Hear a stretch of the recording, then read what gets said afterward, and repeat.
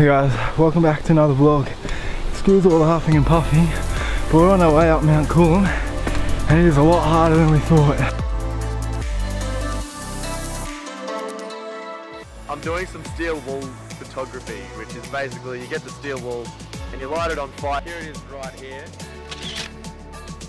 delayed my birthday party till this weekend um, just because it was too crazy around my actual birthday weekend. So I'll show you a little bit of what I wrote for tonight's bulletin now.